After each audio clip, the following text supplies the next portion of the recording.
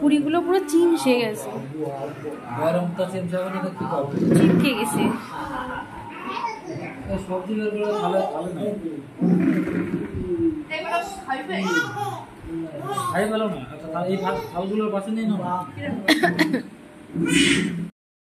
hey everyone welcome back to another blog তো আজকে তোমরা তো আগের ব্লগে দেখেছ কি কোথায় এসেছি। তো এই যে আমাদের রুমটা নিয়ে নিয়েছি। রুমটা বেশ ভালো, তবে অনেকটা সময় লেগে গেছে আমাদের রুমে আসতে আসতে। আর এইখানটায় এসে ব্লগটা অ্যাকচুয়ালি কন্টিনিউ করতে পারিনি, কারণ হচ্ছে শরীরটা প্রচণ্ড খারাপ হয়ে গেছিল। একটুখানি মানে এইখানে এসে উল্টিটা হয়েছে। ওইখানে বসে হয়নি মানে সারা বাসে তো কোনো সেরকমভাবে অসুবিধা হয়নি, কিন্তু এইখানটা এসে হয়েছিল। যাই হোক, তো এই যে আমাদের রুম নিয়ে নিয়ে নিয়েছি।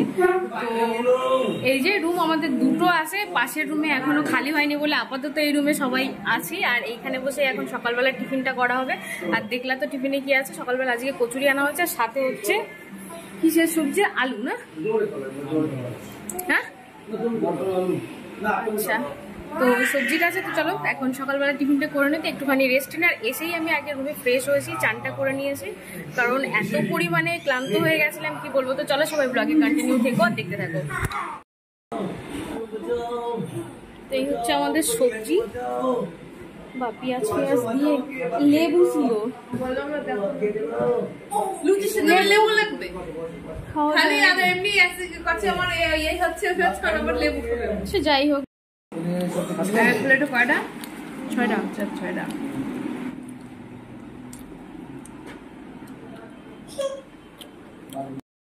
তো ছাতা হাতে নিয়ে আর এই যে মাথায় গামছা আর এই যে আমার চানের লুক বেরিয়ে পড়লাম চান করার উদ্দেশ্যে।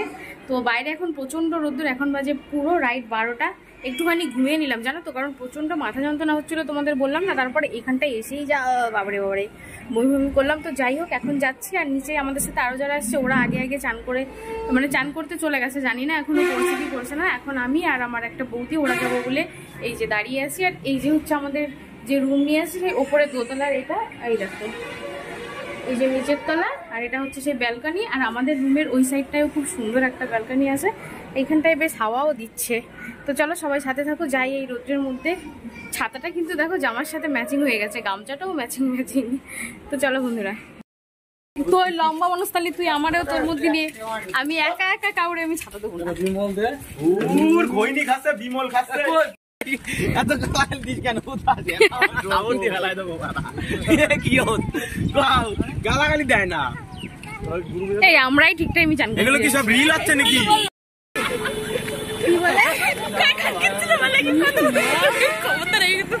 আওয়াজ কিন্তু করে দিও।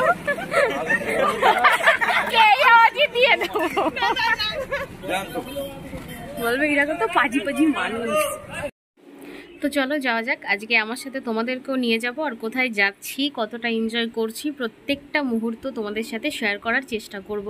তো কি বলব, একটু কষ্ট হচ্ছে অবশ্যই, সেটা হচ্ছে গরমের কারণে, কারণ প্রচণ্ড গরম। আর দীঘাতে তো জানো, যারা যারা এসছো, দীঘাতে হাওয়া অবশ্যই সমুদ্র পাড়ে সারাক্ষণ হতে থাকে। ঢেউয়ের সাথে সাথে হাওয়াটা তো প্রচণ্ড থাকে। কিন্তু না, ওই হাওয়াটায় ওই একটা স্বস্তি কেন জানি না পাওয়া যায় না, যে একটা ঠান্ডা হাওয়া, ওই জিনিসটা আমি অন্তত ফিল করতে পারি না। আমার কিন্তু প্রচণ্ড গরম লাগে দীঘাতে। ওই হাওয়াটায় কেমন যেন চোখে মুখে যখন আসে না, তখন মনে হয় যেন একটা আগুনের সেই ঝলকা টাইপের মানে হাত মুখ যেন পুড়িয়ে মানে পুড়তে শুরু করে, এরকম একটা ব্যাপার হয়। তো যাই হোক, সবশেষে তারপরেও আমরা কিন্তু ঘোরাটাকে ভুলি না, আনন্দ করাটাকে মিস করি না। কষ্টটা একদিন দুদিন, কিন্তু আনন্দটা সারাটা জীবন মনের মধ্যে থেকে যাবে কি? গেছিলাম এই মুহূর্তগুলো ধরে রাখার চেষ্টা, ওই জন্য সবসময় আমি করি। আর আমি সত্যি কথা বলতে কি, একটু অন্যরকম, নিজেকে ভালোবাসতে জানি, নিজেকে ভালো রাখতে জানি, সবসময় সেটা চেষ্টাও করি। প্রত্যেকটা মানুষের কিন্তু এটা করাও প্রয়োজন কি, নিজেকে ভালোবাসো। সবার আগে নিজেকে ভালোবাসো, আর সেটাই আমি করি। তো যাই হোক, এই যে আগে নিউ দীঘায় মানে কি বলব ওল্ড দীঘায় আজকে আমরা থাকব। তো ওল্ড দীঘাতেই চানটা করব, কিন্তু ওল্ড দীঘাতে যারা যারা এসছো, তারা তো জানোই কি এই যে বসার জায়গাগুলো খুব সুন্দর করে করা থাকে, কিন্তু এইখানে কিন্তু চান করতে দেয় না। চান করার জন্য যাওয়া হবে হচ্ছে আরও ওইদিকে মানে মোহনার দিকে যাব, ওই দিকটাই গিয়ে চান করব। কিন্তু তারপরে আমি বললাম, একটুখানি ভিডিওটা তো শ্যুট করতে পারি। তারপরে এইখানটায় অনেকগুলো ফটোও শ্যুট করেছিলাম, ওগুলো আমি একটা একটা করে দেবো, তোমরা দেখতে পারবা।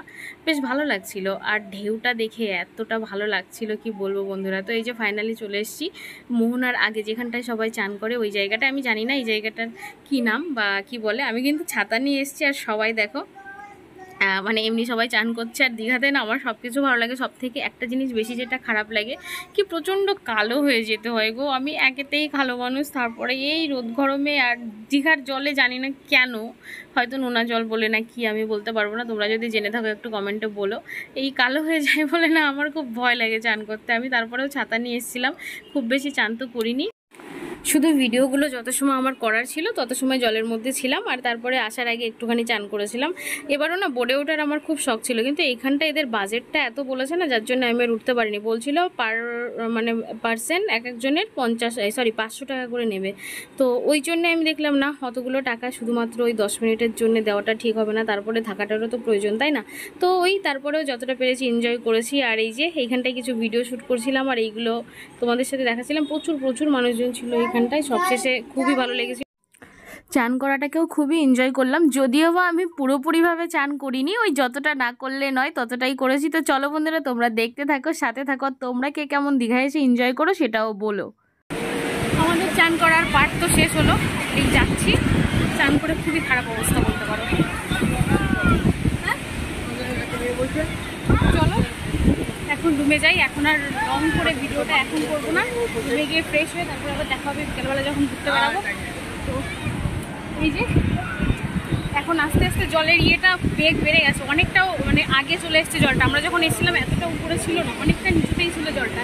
কিন্তু এখন যত সময় বাড়ছে, তত জলটা আগে আসছে। তো চলো বাড়ি থেকে দেখা হচ্ছে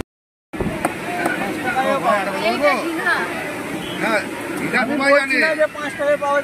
তুমি আমারটা একটু দিয়ে দাও টাকা আপনার আগে। দোকান থেকে আসি তখন তোমার বললাম তো আমাদের আমরা কলকাতায় বাস করি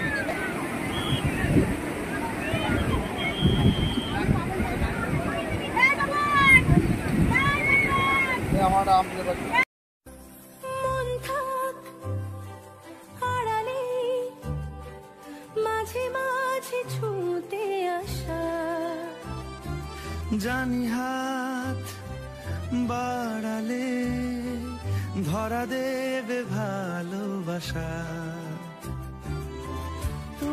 পথ চেনো, পাশে আছি জেনো আমাকেও সঙ্গে নিলে।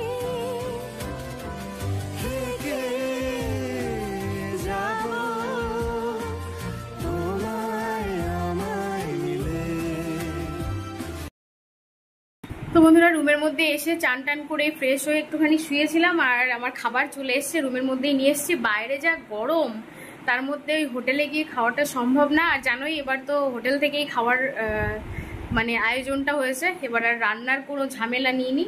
তো খাবার নিয়ে আসা হয়েছে। দেখা যাক কি কি খাবার দিয়েছে, জানি না। পার্সেল করে আনা হয়েছে, ওইটা এখন দেখব। আর ওইটাই এখন খাব। প্রচণ্ড খিদে পেয়ে গেছে।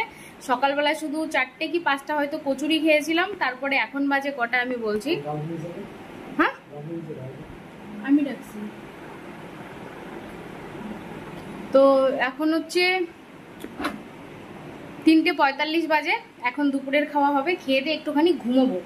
তারপরে উঠবো একেবারে বিকালবেলা মানে ছটার দিকে উঠবো, উঠে ফ্রেশ হয়ে তারপরে ঘুরতে বেরোবো। তো চলো দেখা যাক কি কি খাবার দিয়েছে, সেইটা তোমাদের একটুখানি আমি শেয়ার করে দিই। তো বন্ধুরা, এই যে খাবার চলে এসছে পার্সেলে কি কি এসছে চলো সেটা তোমাদের একটু দেখাই। আসো তো দেখে নাও কি কি খাবার আছে। এই যে এখানটায় আছে রাইস অনেকটা রাইস দিয়েছে। আর এইটা হচ্ছে পাঁচ মিশালি একটা সবজি, এটা হচ্ছে আলু পোস্ত এটা যত সম্ভব মাছের ঝোল, আর এটা হচ্ছে ডাল। আর এই যে এক টুকরো পেঁয়াজ আর এক টুকরো লেবু, আর এটাই মনে হয় যত সম্ভব নুন আছে। তো চলো, দুপুরের খাবারটা খেয়ে নিই। এখন আর বেশি বগর বগর করব না, কারণ প্রচণ্ড খিদে পেয়ে গেছে। খেয়ে একটুখানি রেস্ট নেব। বিকালে যখন ঘুরতে বেরোবো, তখন তোমাদেরকে নিয়ে যাব তো চলো, সবাই সাথে থাকো, দেখতে থাকো। খেতে খেতে ক্যামেরাটা অন না করে আর পারলাম না। তোমাদের কি বলব? এত সুন্দর রান্না হয়েছে, প্রত্যেকটা সবজি। এক কথায় অসাধারণ। আমরা যাদের সাথে এসছি মানে আমরা তো পুরো বাস ভরে এসছি, তোমরা তো দেখেছ।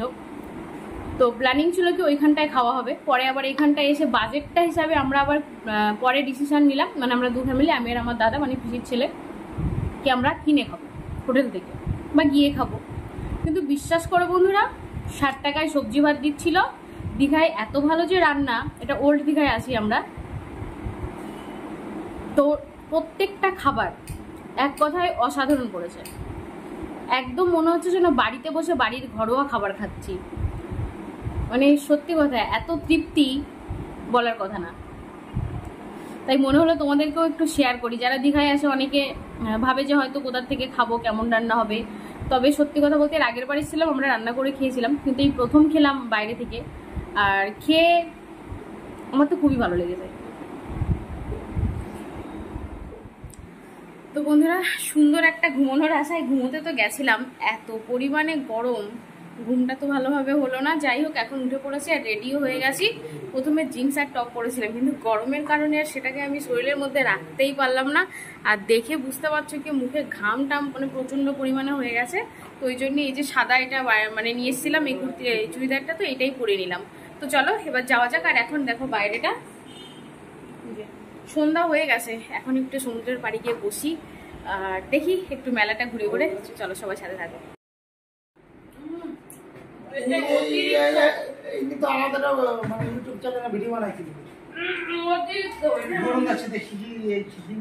মানে সব জায়গায় রিল না বানালি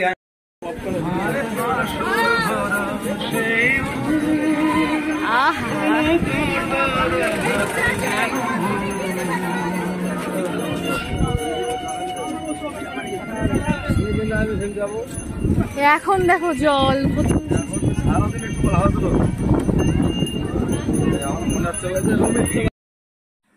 অনেকটা সময় সমুদ্র পাড়ে বসার পরে একটুখানি মনে হলো কি মেলাটা ঘুরে ঘুরে দেখা যাক। যদিও বা একই রকম মেলা গেছে বারো যেখানটায় যেখানটায় ঘুরেছিলাম, আজকেও সেই সেমই জায়গাটায় আসি। তারপরেও মনে হলো একটু ঘুরে দেখি। আর তবে হ্যাঁ এবার আমি একটা জিনিস সিদ্ধান্ত নিয়েই নিয়েছি কি, আমি এই মেলা থেকে অন্তত কিছু কিনবো না। এবার তোমরা বলতেই পারো, এত ভালো একটা জায়গায় এসে মেলা থেকে কেন কিছু নেবে না? তো আমি তোমাদের শর্টে বলে দিই, এইখানকার কোনো জিনিসও কিন্তু খুব ভালো হয় না। তো নেওয়াটা শুধু শুধু নষ্ট করার তো কোনো মানেই নেই। ওইটা ভেবেই আমি কোনো কিছু কিনলাম না কিন্তু তবে হ্যাঁ খাওয়ার যে জিনিসগুলো, খাওয়ার প্রয়োজন, সেগুলো আমি খুব খেয়েছি। যেমন এই পপকর্ন তারপরে ওই কি বলে আরে, ওই গোলা গোলা, যেটা দেখেছ, মাথা থেকেই বেরিয়ে যায়। গোলাটা কিন্তু আমার বেশ লাগে খেতে। আমাদের কলকাতাতে তো সচরাচর পাওয়া যায় না আমাদের শিমুরালির মধ্যে। তবে আমি দীঘাতে গেছে গেছেবার এসেও খেয়েছিলাম আর এবারও দু তিনটে খেয়েছি। আর এই সন্ধ্যার ওয়েদারটা কিন্তু পুরোপুরিভাবে আলাদাই একটা আনন্দ এনে দেয়। তো বন্ধুরা, মেলা টেলা খুব ভালোই ঘুরলাম। আর এখানে অনেকটা সময় বসেছিলাম। এখন সাড়ে নটা, প্রায় দশটা বাজতে চলেছে। তো একটুখানি পাপড়ি চাট খেয়ে নিলাম। মন হচ্ছিল কি খাই? আর কবে পাবো তার তো ঠিক নেই। কারণ সচরাচর আমাদের ওই দিকটা জানোই, সব জায়গায় বসে না। আর আমি আবার পাপড়ি চাটটা কতটা ভালোবাসি সেটাও তোমাদের হয়তো এখনও পর্যন্ত অজানা নেই। তো চলো, মেলাটা ঘোরা ভালোই হলো। এখন রুমে চলে যাব খাওয়া দাওয়া করে। কিন্তু পাপড়ি চাটটা খাওয়ার পরে আবার একটু ঘুগনি খেতে মন হলো। তো ঘুগনিটা খেয়ে যাব করে তো চলো, আজকের মতো ভিডিওটা এখানটা এন্ড করছি। ভালো লাগলে অবশ্যই একটা লাইক কমেন্ট শেয়ার আর সাবস্ক্রাইব করতে ভুলো না। তো